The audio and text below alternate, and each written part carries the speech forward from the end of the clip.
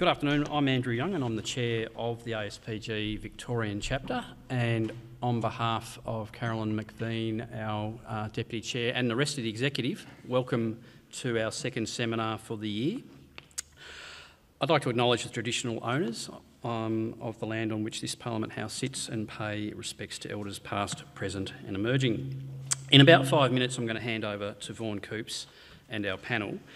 But um, by way of introduction, we thought it would be useful to just talk about parliamentary committees um, in, a, in, an overview sense in case some people aren't that aware of them. And before I do that, in case I forget at the end, I just want to thank Luke, Lucy, and Julian from our AV tech unit for setting up all our tech side of things. And this is being recorded. So if you know people who couldn't make it today and are interested, this is being recorded. It will be available for them to see down the track. Okay. So, committees. Um, we started off with old and new. The reason for saying that is because we tend to think of committees as being a far more contemporary aspect of Parliament. We think of the chambers as being something that have been around for centuries, and committees haven't been around for very long. But in actual fact, committees have been around for centuries. Uh, what's different is the prevalence of committee work these days. So, if you look at some historical texts uh, in terms of the UK Parliament, you'll find references to committees going way back centuries ago which looked at legislation. In a very small number of instances, they looked at other issues, but generally they were looking at legislation. Then you get to the 1800s, and there's a change in the UK Parliament, and they do start to establish, um, if you like, more of what we would think of as standing committees. In the 1860s, they uh, create a public accounts committee because the Parliament has figured out that it's one thing to pass a bill giving government money, but they want to find out if it was actually spent for the reasons it was actually given to the government in the first place. So they set up a public accounts committee. So even things like that, we go back well over a century ago. What's new, of course, is committees that are for some members, and Bronwyn and Ed might reflect on this, represent perhaps close to 50% of their working time as parliamentarians uh, at different parts of their parliamentary life because um, of the prevalence of committees and what they do. So, committees are delegates of the houses. Uh, they, in effect, are subordinate to the House, and that's regardless of whether they're established by an Act or by standing orders or by a simple resolution of the House. Committee members are appointed by the Houses. Historical texts refer to members uh, undertaking their duties in a very impartial way in committees. But they were committees going back some way that almost always met in private, and the text will talk about the fact that meeting in private perhaps lent itself to them acting in a very impartial manner. Committees these days, uh, particularly when it comes to their formal evidence gathering and hearings, etc., meet in public most of the time, which I think is still a good thing. Um, one of the benefits of that, of course, is that um, it's a direct form of public engagement. It's the most direct form of public engagement that Parliament has, I think. It's with its committees. Whether that's related to developing policy, uh, legislative ideas, um, in that case, committees, of course, have a great benefit in comparison to the policy units in government departments because committees can go out, meet experts, call witnesses, have the general public interact with them in a way that public servants can't do if they're sitting in a policy unit in a government department. Then, when it comes to the other type of inquiries committees do, which of course are those more inquisitorial inquiries because they're looking at an alleged failure of government administration, they may do that in a far more uh, cost efficient way than a Royal Commission or a Board of Inquiry. So you can see the benefits of committees in different, in, in different contexts. Um,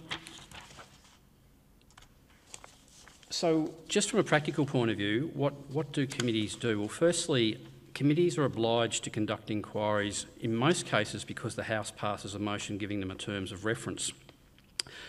For some committees, like the Scrutiny of Acts and Regulations, Public Accounts, and the Integrity Oversight Committee, they may have some other standing obligations that um, are in a statute which require them to do inquiries regardless of what a House might give them. But for most committees, they're getting their terms of reference from the House itself. It's then up to the committee members to comply with the terms of reference. The terms of reference are the parameters for what the House wants the committee to look at. And it might particularly be the case that it's up to chairs to also try and ensure that the committee complies with those parameters, which is probably a challenge that Ed and Bronwyn might talk about. There's, um, now I think we've got, uh, Carolyn, correct me if I'm wrong, I think we've printed out some copies of terms of reference. Yeah, so there are some term, hard copies of terms of reference floating around for people who perhaps haven't seen them much before um, which will give you some context for what we're talking about. So they get their terms of reference. Committees then tend to meet in private with the Secretariat. The Secretariat of parliamentary officers who support the work of those committees. And they plan things like will they take written submissions from the public? They almost always will. Will they undertake site visits? Will they have formal hearings? If they're going to have formal hearings, who are the witnesses? How do they decide who those witnesses will be? That's all done normally behind closed doors before the committee then launches the more public aspect of its inquiry.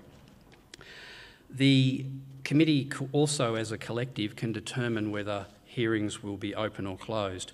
Again, the overwhelming majority of them are open, that, that is, the public can uh, attend or watch online, uh, but there occasionally will be reasons why they might decide to do something in camera.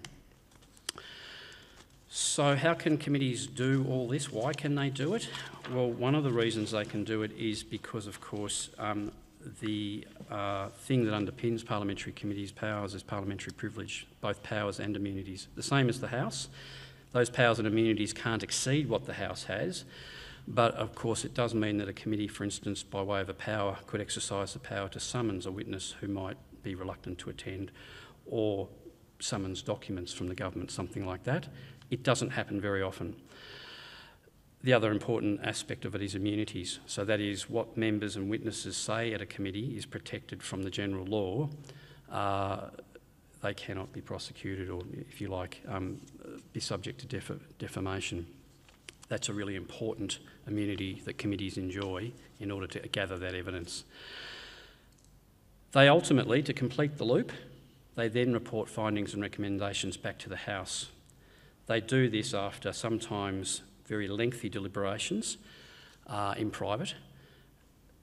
They don't have to all agree, and in fact, if, if uh, a minority of members disagree on a particular um, recommendation or finding, they might attach what's called a dissenting or minority report at the end of the report. But the, what is tabled in the first part is the majority report of the committee. And then, ultimately, depending on what type of committee it is and what perhaps the rule in the standing order or the Act might say, quite often a government response will, um, is due. Um, six months, I think, is probably still the most um, typical time frame in, within which a government response is due. It doesn't mean the government has to agree with what the committee has said. It's simply requiring the government to respond and say, yes, we agree with that, or no, we don't agree with that, and this is what we're going to do. So, look, that's a very brief overview of committees.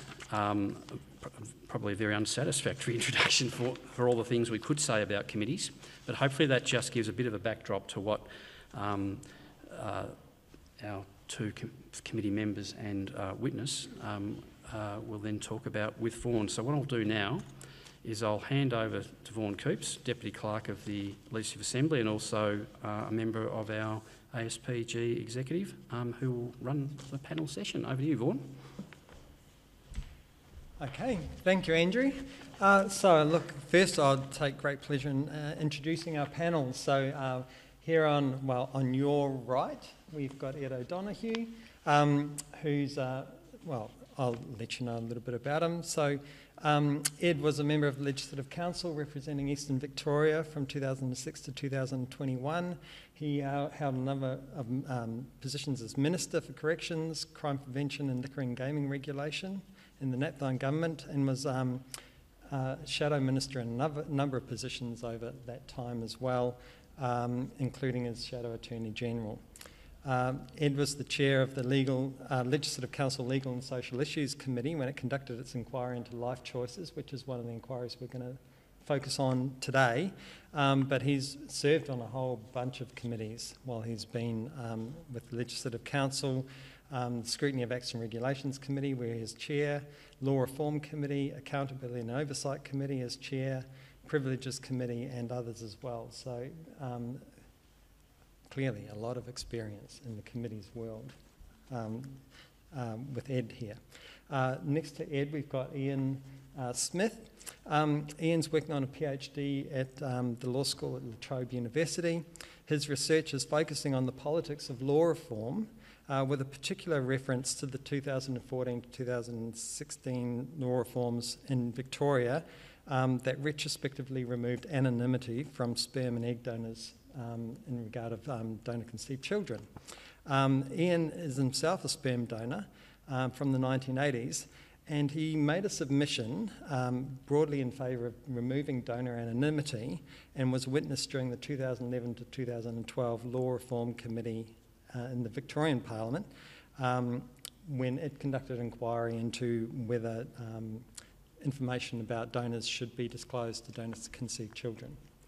Uh, and next to Ian, we have Bronwyn Halfpenny, who's the member for Thomastown uh, currently. Uh, and um, has been representing that electorate since 2010. Uh, prior to that, she was with the industrial office at the um, Victorian Trades Hall Council. Um, Bronwyn's served on a number of committees and a number of significant inquiries as well, including the Family and Community Development Committee uh, during its inquiries into senior Victorian participation, participation and employment of those with mental health, and abuse of children in non government organisations, um, the betrayal of trust inquiry, which is a significant one that led to a lot of reform as well. Um, Bronwyn was also chair of the Environment, Natural Resources and Regional Development Committee when it conducted its inquiry into the CFA Training College at Fiskville, which is again one of the main one of the um, inquiries that we're going to focus on when we talk about things today.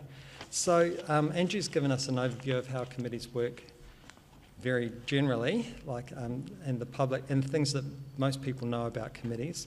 Um, so I'll just ask a few questions from the panel, and we just go through and just um, explore some of the things that happen in committees generally. So we know about terms of reference, submissions, public hearings, and and the public processes that happen with committees, and then you table a report in the houses, which is public, and then uh, eventually you get a government response to that. Um, but a lot of what committees do happens away from the public gaze. So the question I'd like to ask the panel, maybe Ed, you can lead off with this one. Um, what needs to happen behind the scenes to make committees effective? One of the great challenges, I think, for committees is resourcing. Um, Andrew mentioned in his introduction that uh, parliamentary committees can often achieve outcomes or recommendations in a far more timely and cost-effective way than perhaps a you know a part of the public service, and I, I think that's absolutely true. Um, a constant challenge, I think, is for the um, the Parliament and, and, and, and government funding the Parliament to recognise the, the role that committees play. And there's obviously a tension there that the more funding government provides to, to committees, the more they can look into things and uh, you know, get, get into issues that perhaps the government finds uh, less comfortable or doesn't want explored. So I think funding is uh, an issue. Um, as a committee itself, I think it's always important to have good relationships across a committee, regardless of political affiliation, and to sort of build uh, a degree of trust with those you're working with, particularly when the terms of reference or the issues are not uh, particularly political or adversarial. Obviously, some select committees can be very adversarial, and having that relationship of trust can be, you know, difficult. But generally, particularly early in a parliament's term, um, if you can build trust uh, with the deputy chair and the chair and the committee members, it makes a seam, you can have seamless uh, sort of working together and achieve much better outcomes. Oh, okay. Um, I think I agree with um, a lot of what Ed was saying. Um, but that I think that um, in order for a committee to work well, you really have to be able to build up that trust between because you've got you know, different people from different political parties, so they have to one um, know it's confidential, so that nothing's sort of going to be said. Um, if you want to speak freely and put up your arguments and that sort of stuff, um, that's really important because in the end. a lot of the, I've found with committees, um, when you're doing the deliberations, you really can negotiate. Like there's normally a fair bit of goodwill and um, there's not always that big a difference. Um, it depends, of course, if it's a more political um, committee uh, reference than, than say, a, a one that's more um, not as political. Um, so, for example, the CFA Fiskville inquiry, that was highly political um, because that was an election commitment by Labor. Um, whereas the child abuse inquiry was not political in the sense that, you know, we all, um, you know, so that was just such a, a um, thing that was sort of happening and really did need to be exposed. So um, I think it depends on what the what the reference is. Uh, in terms of the staff for committees, um, I've worked with some really good people and they're key as well because um, it's about resources, but also their ability to sort of gain, extract consensus because sometimes they act as a little bit of a the referee amongst it all or try to put up some other ideas. Um, and of course, they are there full time, so they really are the ones that are doing all the research. Whereas as member of parliament, you know, there's a whole lot of competing um, time constraints. So we sort of really rely heavily, and we, you know, we have to trust those um, people, the researchers, and uh, I think executive officer is yeah. I've got two perspectives on that question. First of all, when I was a, a witness and made submissions to the, to the committee, and at that point, I didn't really know much about what was going on in the background. My understanding of what was going on in the background comes from my research more recently, where I've talked to a lot of the members of that, that Law Reform Committee, as there was, and other members of Parliament, and I've seen the degree to which the, as, as both speakers have said, the, the cross-party collaboration that went on there and the what I'd describe as the political schmoozing that went on out in the corridors out here and in the party rooms and so on was so important in getting getting agreement at, at, at, the end that on you know, the, the, the committee that I'm looking at. Quite a quite a contentious question.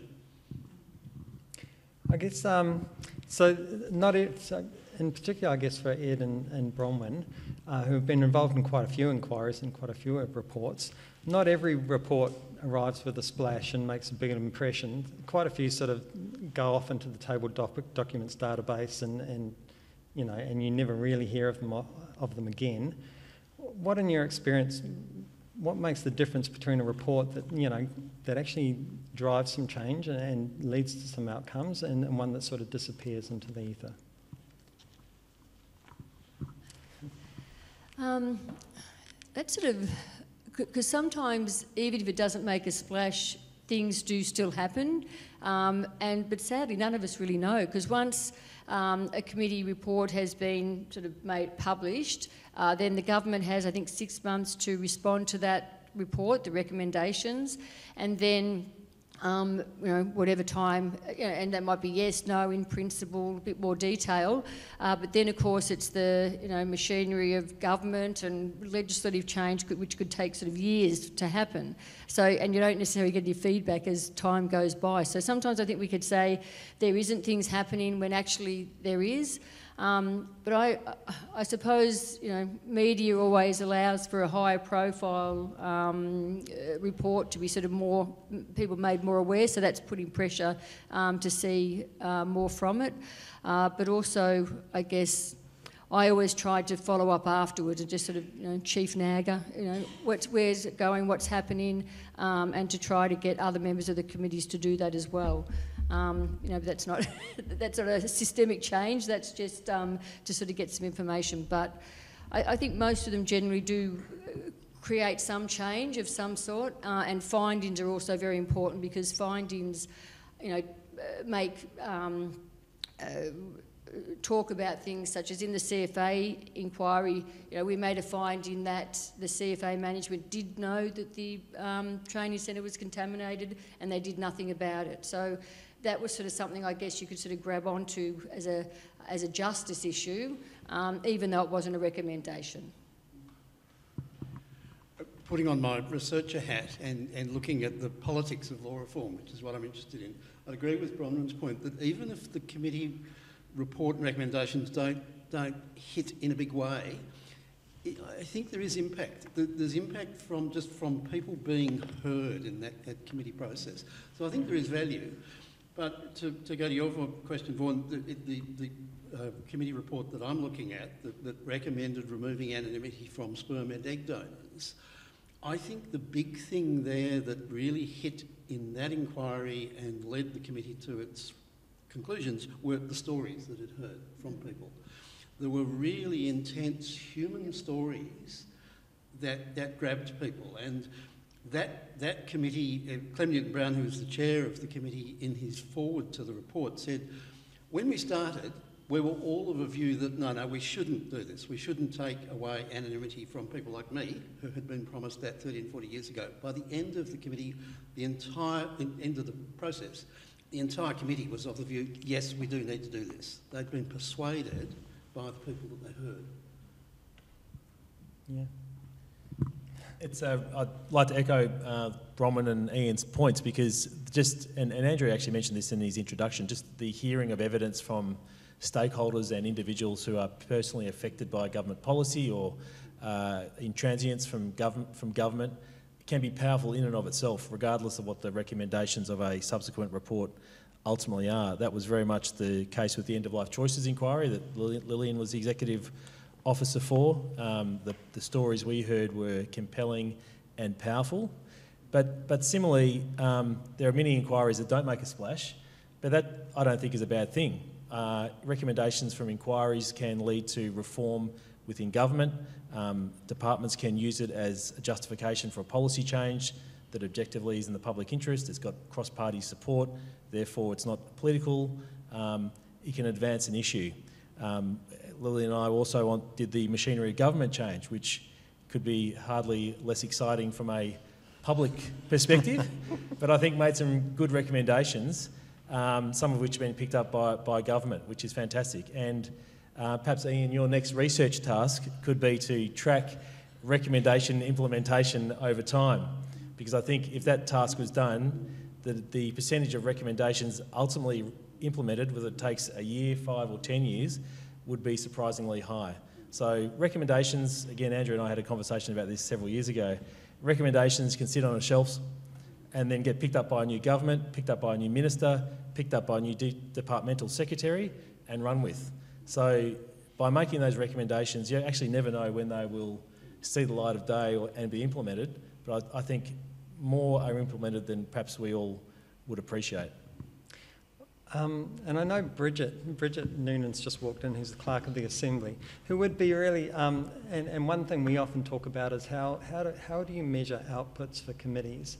And, and if you can't, is there a meaningful way to actually look at what committees do and what they produce? Or is it just, or is it sometimes just so, um, you know, such a distance between the potential effect of a committee's recommendations and, and what actually happens. Is, is there any meaningful way to look at that, or is it, or is it should we just leave them all alone and do their thing? it's an out of the bag question. Sorry about that. Yeah. Um, um, the, yeah, I'm sort of.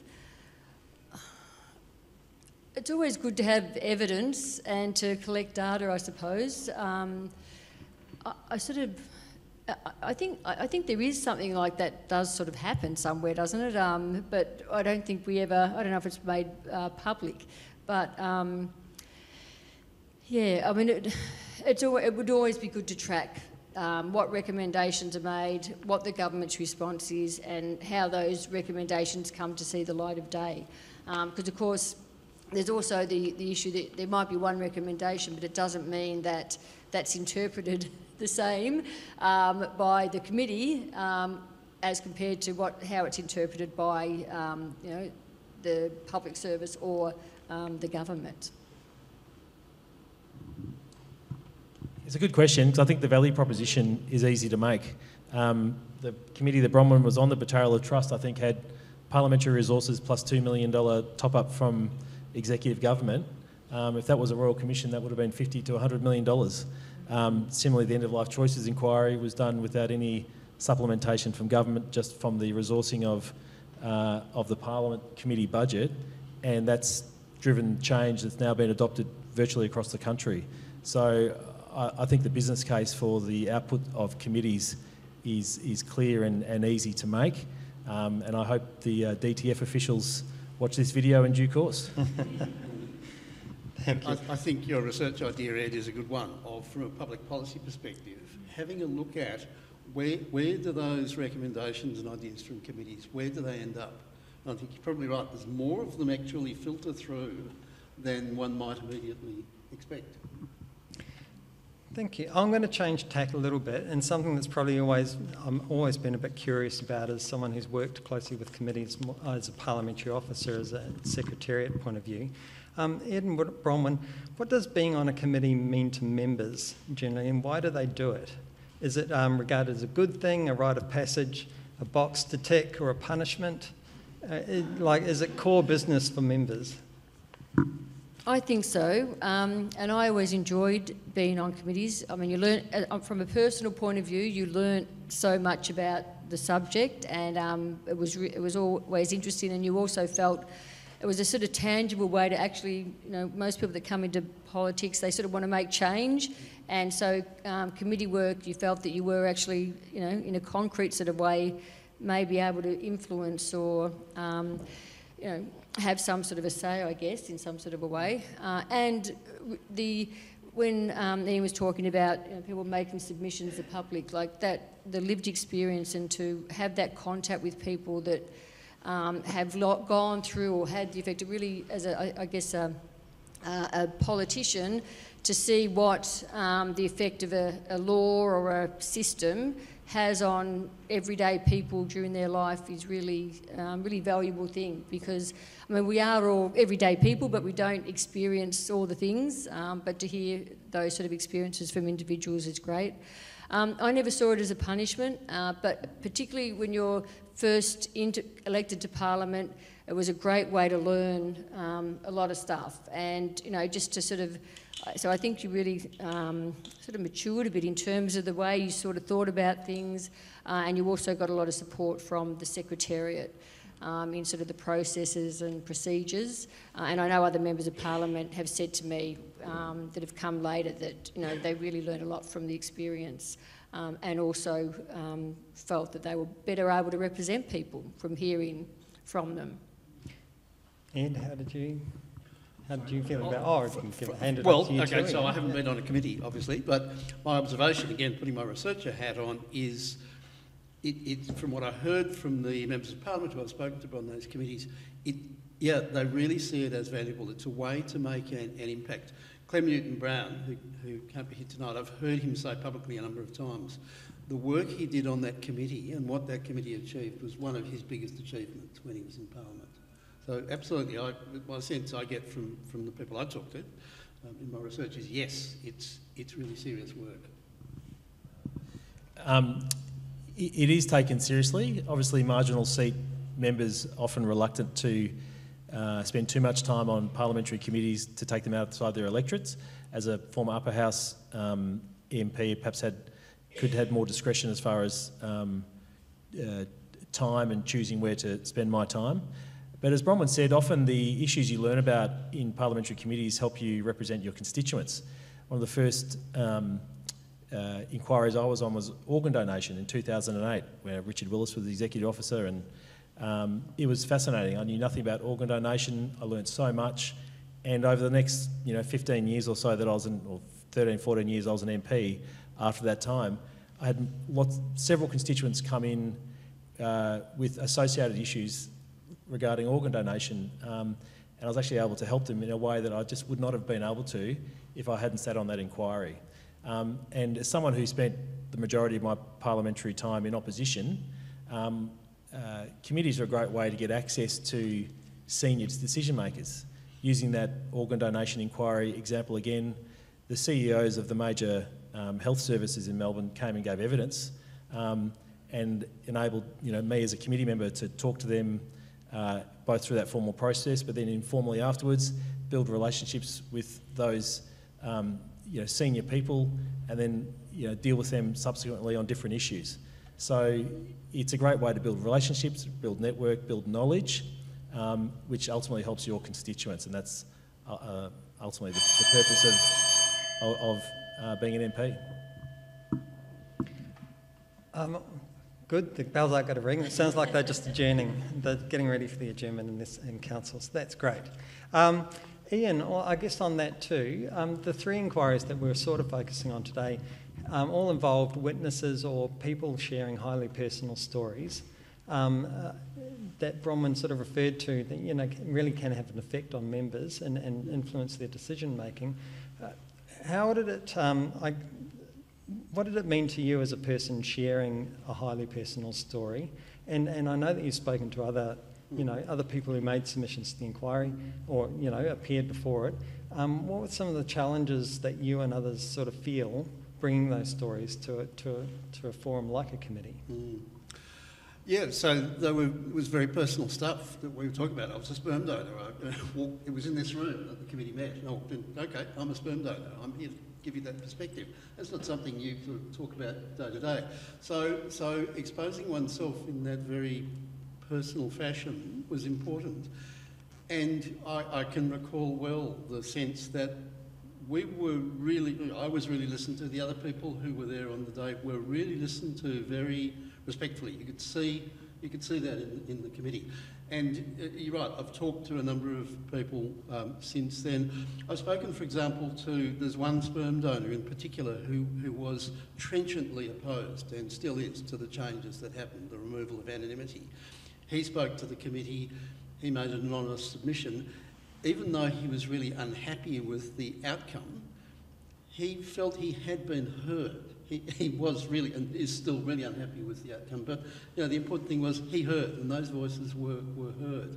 Um, similarly, the, the, in, in my view, one of the pivotal stories that swung that particular inquiry was from a young woman who had uh, stage four cancer and she told her very personal story to the committee, and it had a, had a huge impact. And I, I know that it, it, that story made its way all the way up to then Premier Baillieu and, and, and impacted there. So, yeah, the, the, those stories are really, in my observation, heard very respectfully in, in, that committee at least. I guess um, Ed and Bronwyn, as, as members of the committees hearing those stories, were there any challenges for you there as well? I mean, I guess nowadays in committees we're sort of talking more about, you know, um, the effects on people of hearing these kind of stories, and, and you get subjected to some fairly, um, you know, some fairly robust situations in those committee hearings. Any particular observations, or was it all pop- It, it- um, it can, can be challenging, and, and um, again, the Parliament, through the Secretariat for the End of Life Choices Inquiry, organised assistance for those people giving evidence, uh, uh, and also for, for members was made available as well, which was a great initiative, I think, of the, of the Parliament and the, the committee system for the Parliament. Um, often the most complex, difficult issues that can't be resolved through the normal channels are the ones that are given to parliamentary committees to figure out and sort out. And so often by their very nature, the references are challenging in a policy sense, but also in a human sense. And um, one of the great things I think about the committee process is that at a time of great cynicism about politics, about um, many of our institutions, when people actually inter- interact with a parliamentary committee, they invariably, as Ian, Ian articulated, whether they agree with the outcome or not, feel like they've had a decent hearing and they've been part of a, a bigger process that is um, valid and justified and has heard them. And that in and of itself is a fantastic outcome, a fantastic good. As I say, particularly at a time when there's such cynicism about politics, the motivation of politicians, and all the rest of it. Um, yeah, well, the two inquiries, the CFA inquiry and the child abuse inquiry, um, yeah, they were both really awfully sad and um, you know, some people had never disclosed um, things before until the committee, which was both in camera in some cases and public. Um, and, and they weren't believed in a lot of cases. You know, we had people talking how they'd written to all sorts of people with their story and just never heard back. No one ever believed them. No one, or they were met with sort of hostility. So um, coming to speak to the committee, I think they sort of felt a bit like empowered by it as well. So validated because um, they were believed, but also empowered because they could sort of rise above that past and uh, contribute to sort of a, a better future for other people with um, better protections. Um, and that was both at the CFA and with the child abuse inquiry, because I know, for example, the, the, the, family of farmers in Ballan, where their um, land was completely contaminated, uh, and they were basically ostracised by um, some. Uh, but as part of the inquiry and the findings, um, it was really sort of without doubt that this had happened and that they, um, what they were concerned about was real. So, yeah, and that has an effect on you as a committee member as well, both hearing the, the stories as well as um, being able to help in terms of, you know, well, really, it was the, the witnesses that really made um, the change happen. So they really were sort of a bit of a vehicle to help them do it even though, um, so there's positives in the committees getting to hear from a range of people and things, but at the end of the day, committees are comprised of usually, you know, seven or eight members. Um, they're given information by a small secretariat of maybe two or three staff, um, if that even sometimes, and, and they have limited time resources. They can only see so many people, they can only receive so, or have time to consider so many submissions. Um, to what extent do you, can committees feel confident that they've actually that they're forming a representative view or, or, or adequately informed view, or are they just an echo chamber for the people who are lucky enough to get in the door? That's a really good question because you, I think all committees have to be the committee chair and the secretariat when they're thinking about uh, where to go and who to hear from, have to make sure that balance is right in hearing from peak bodies, hearing from government, as well as hearing from individuals. So, you know, when the Legal and Social Issues Committee was dealing with a reference that it had impacts on the justice system, it was always critical to hear from, from government, a submission from government, the, the peak bodies like the Law Institute and the Bar Council, um, and then to also hear from individuals so that you do get a, a balanced perspective um, that, that not only hears from individuals who've been perhaps aggrieved and want um, change the system, but also from peak bodies or the department or the government about why the status quo is in place and why they believe it should stay the same or, change. And getting that balance right, getting that right representation of ev evidence is critical to laying the foundation of a good committee report with solid, supportable recommendations.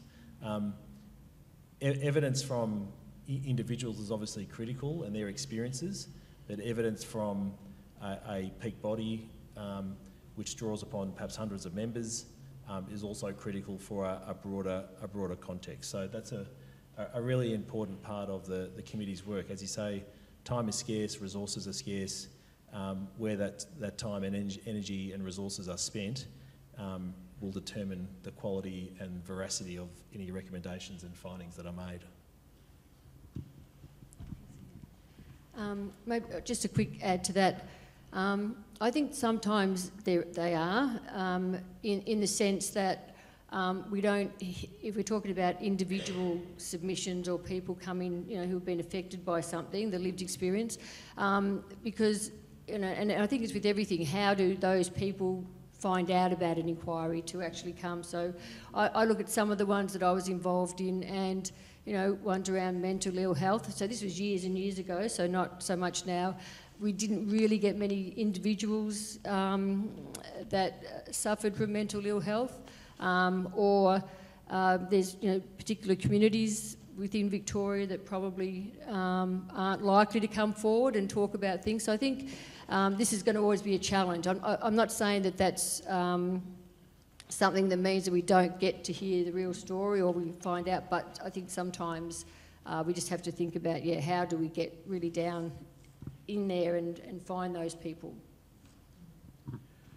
I think it is a risk that the committees are just hearing the very loud voices. I, I mentioned a moment ago that, that uh, in my view, one of the, there was a very compelling, one particular very compelling story that, that I think was pivotal in the case of the donor conception inquiry in, in law, there's a, there's a truism that says hard cases make bad law. So if you applied that to that instance I'm just talking about, that really compelling personal case, did the whole decision tip around that? I don't know. Maybe. That said, with the donor conception, the, the Law Reform Committee inquiry it came down with its report and said, yes, we think you should remove anonymity from sperm donors.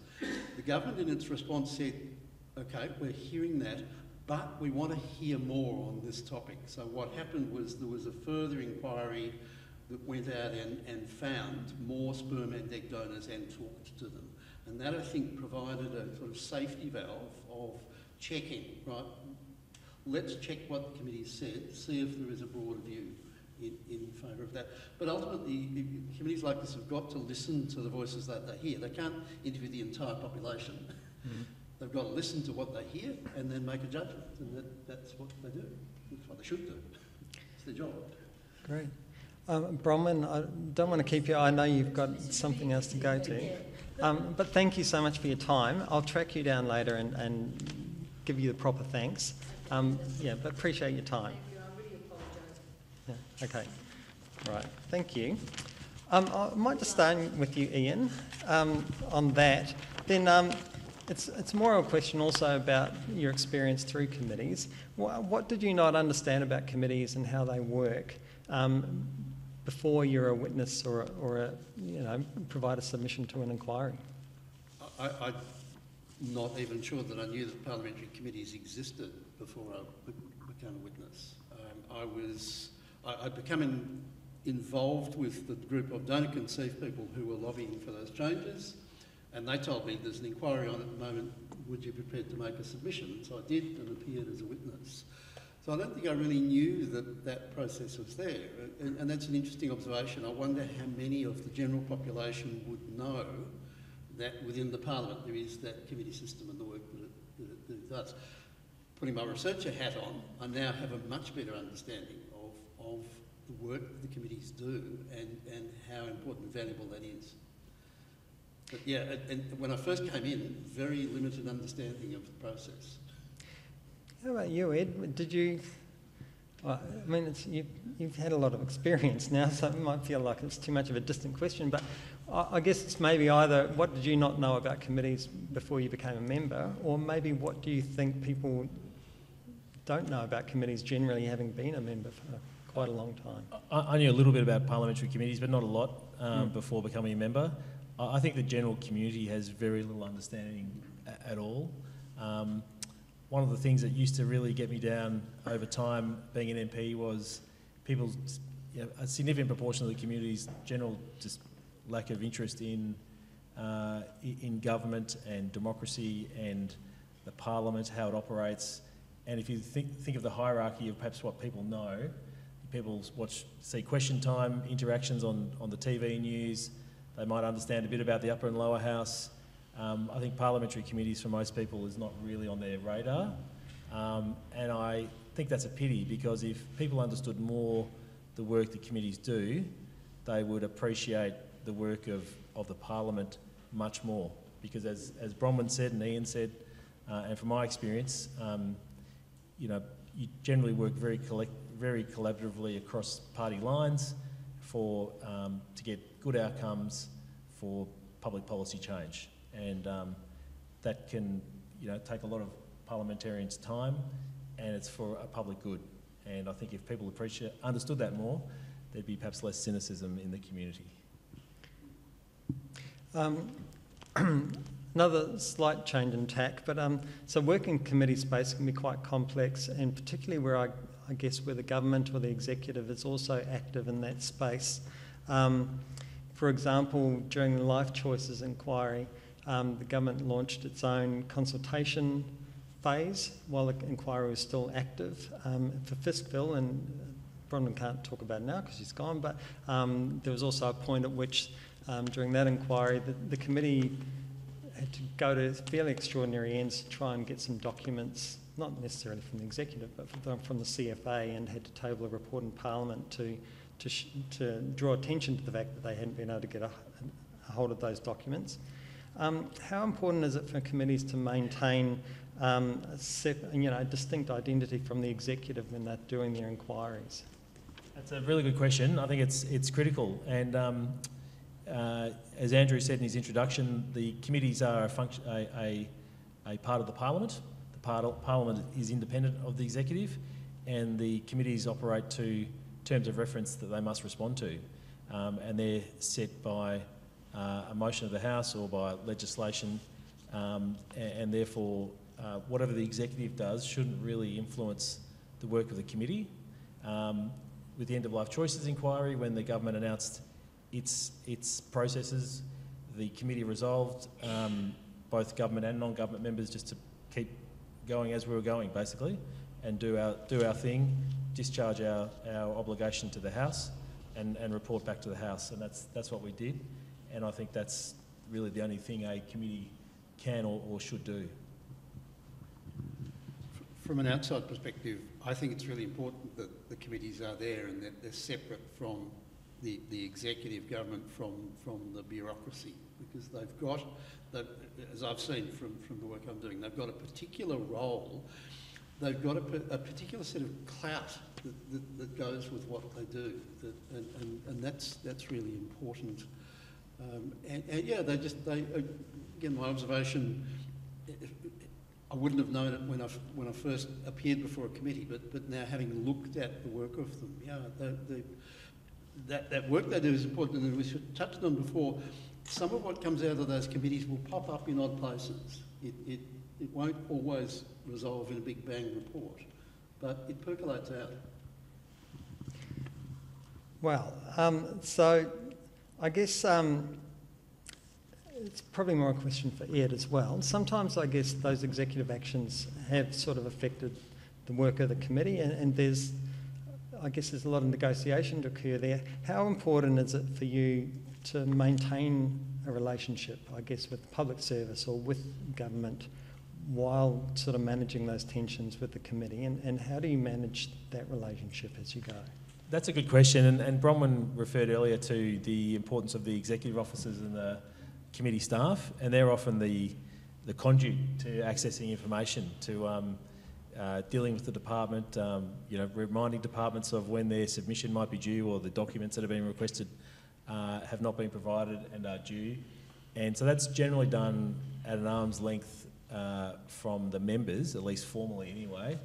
Um, government members on a committee obviously can can speak to um, departmental officials far easier than opposition members can. So they might be able to uh, remind an official that you know, a report is uh, a submission is due, information is due. But that is a relationship that needs to be maintained because often a, a government submission or, or, documents that are held by, by government are critical to understanding an issue and can be central to you know, future findings. So um, that, that can be very, very important, and that often gets back to the role of the uh, executive officers and the, and the work they do. Um, the role of the executive officers, again, Bronwyn touched on it earlier, but it's, it's absolutely critical, and because uh, they oversee the research, they do the research themselves, they liaise with the witnesses, they help uh, decide which witnesses are, would be the best value in a public hearing. They make recommendations about perhaps a closed hearing that may be requested, which committees can do also. And so their tasks and work uh, are limitless, and the work they do really helps drive you know, the outcomes of those committees. So, um, should we just leave it to the Secretariat? What do, what do members bring to the committees? I should have got someone from got Lillian to come on. Anyone, anyone in the uh, audience want to answer that question? um, well, I think the thing members can bring is a perspective. Members of Parliament come from such a diverse range of backgrounds, and when you put three or four different political parties together in the same room in a group of seven people to come with, up with answers to a problem, um, you know, there's a filtering process, and, and then there's experiences and perspectives that are all drawn upon and when you can get consensus on recommendations from that, that diverse background and those different perspectives and those different objectives, I think the public can then know, well, this is, and government can know, this is a pretty solid foundation for reform. Um, so the executive officers obviously do a great job in providing the evidence, helping elucidate the ev evidence through uh, witness submission, collation and the like.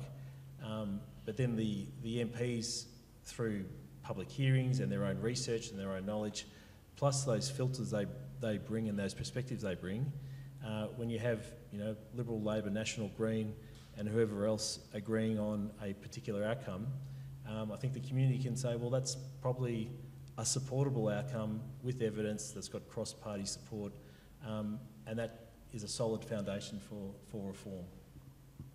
Yeah, I don't want to editorialise too much, but in my observation, it was really what members brought was a pragmatic sort of political prism to all the research and the other thing and the, and the evidence that witnesses bring. Um, we are coming near to the time, uh, so I'd like to open up if anyone has any questions they might like to put to Ian and Ed. Hi, Tim.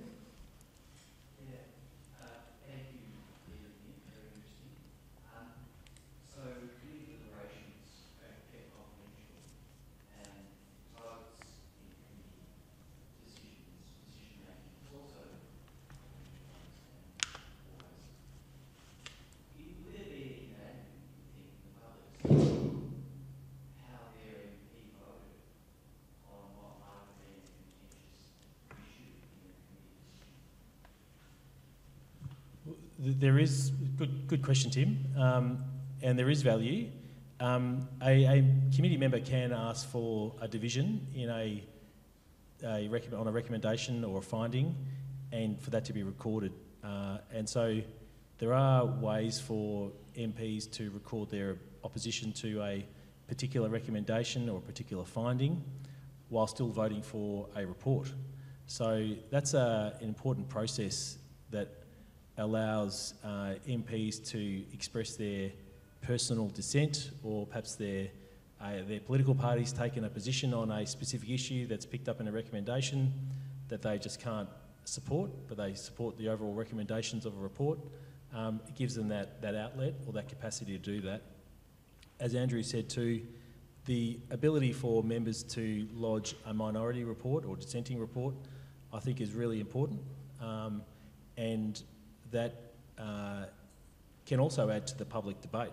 Um, there's been you know, many examples where minority reports have been picked up in the public realm um, and highlighted by media, and that sort of added to the debate about a particular set of recommendations. And indeed, a government of the day in the future could perhaps pick up um, recommendations from minority report of members perhaps of that political party that at some future time find themselves in government.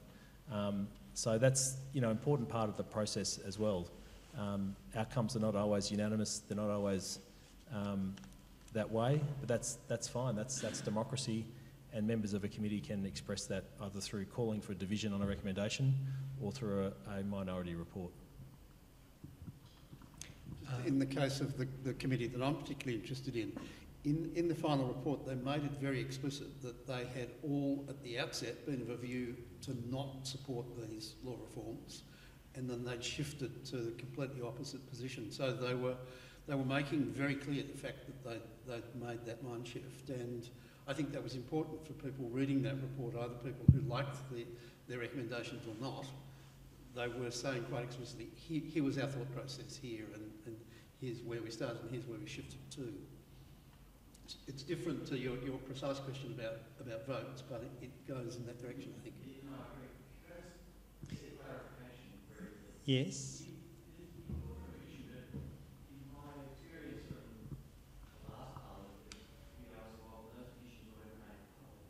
It depends. It depends at what point. Um, if it's during adoption of the report, then it's recorded. If it's um, during deliberations that aren't part of the actual report adoption, then it's private to the committee. Yeah. A uh, question at the back.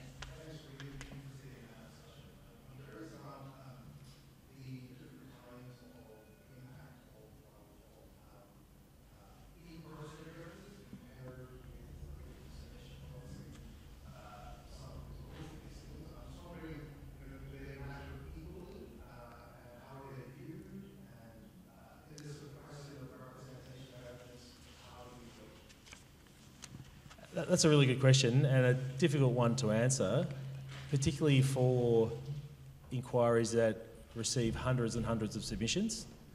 Um, and making the choice about which submitters to hear from can be a really difficult process. And I suppose the question has to be what's the value add of the public appearance from what's been the written submission.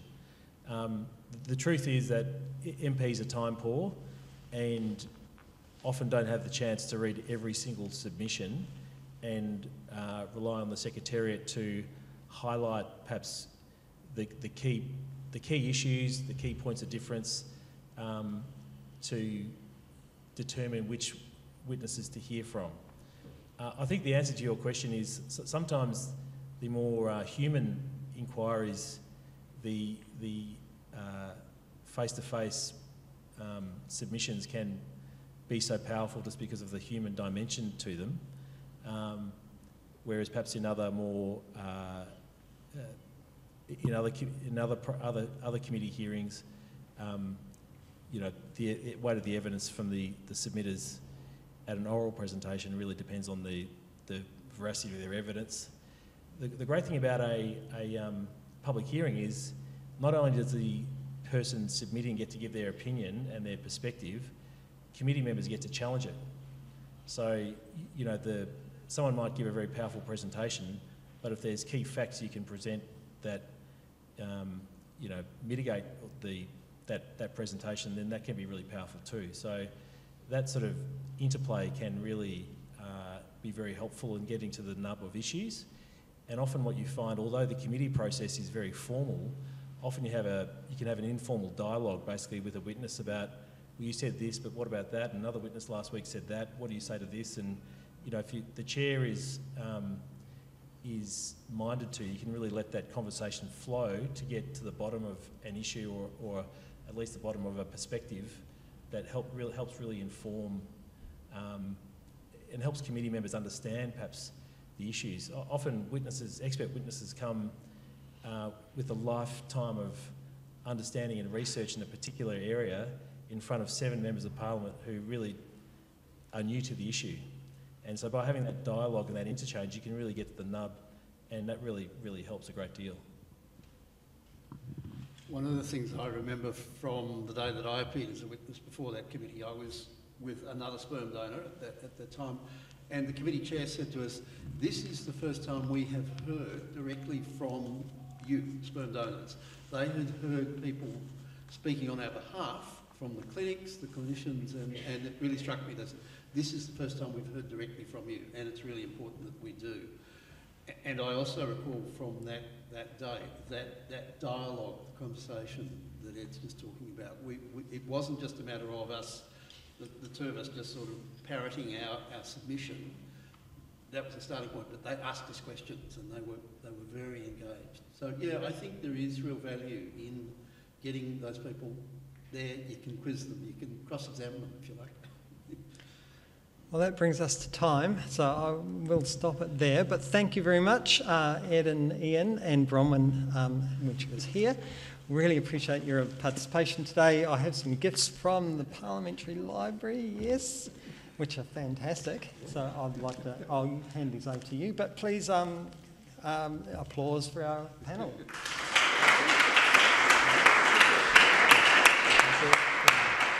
And perhaps if we could also, a round of applause for Vaughn, who um, put, put that together.